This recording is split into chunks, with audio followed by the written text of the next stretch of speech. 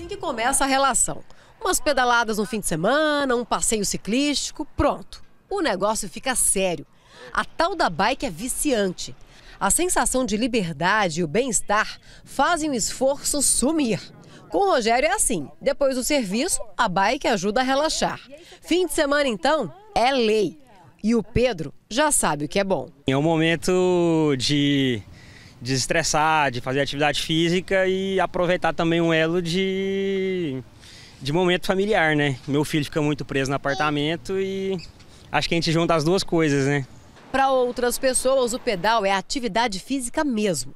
Esse ortopedista ainda reforça que é uma excelente opção. Como qualquer outro tipo de atividade aeróbica, o ciclismo é uma das que com certeza traz uma série de benefícios com relação a condicionamento físico, perda de peso, né? E a grande vantagem de não ter impacto para as articulações até mesmo como um, complemento do paciente que de repente quer fazer uma corrida, o ciclismo, querendo ou não, é um exercício que pode fazer um fortalecimento, manter condicionamento físico né, e evita o impacto que a corrida ou a caminhada pode provocar no, nos joelhos e em qualquer tipo de articulação de carga, não só joelhos, quadril, tornozelos, são articulações que também acabam sofrendo um pouco mais com o impacto. E quem pedala vai concordar comigo. A atividade se transforma numa paixão. Eu arrisco dizer que até um vício, viu? Não é à toa que essas bikes compartilhadas, que estão espalhadas por toda a cidade, se tornaram um sucesso.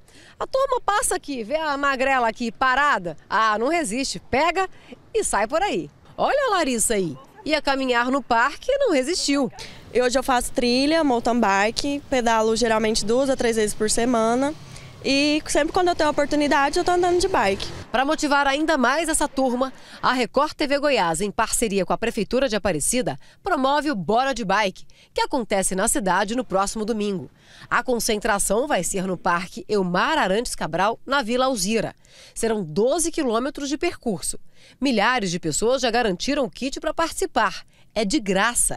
O Laboratório Atalaia e a Unimed Goiânia também são parceiros do evento. Vai ter ainda sorteios de bikes da Fernando Bicicletas para os participantes. E se você ficou com vontade de sentir os benefícios do pedal, mas ainda não está acostumado, que tal começar com a gente? O médico dá as orientações. Em um evento recreativo, né, para promoção da saúde, como é o caso desse evento, é, dá para participar sim tomando esse cuidado, querendo ou não, o cansaço excessivo, temperatura também é outra coisa, hidratação no, durante o ato do, da prática do ciclismo, né, justamente para evitar algum tipo de complicação, mas dá para participar sim.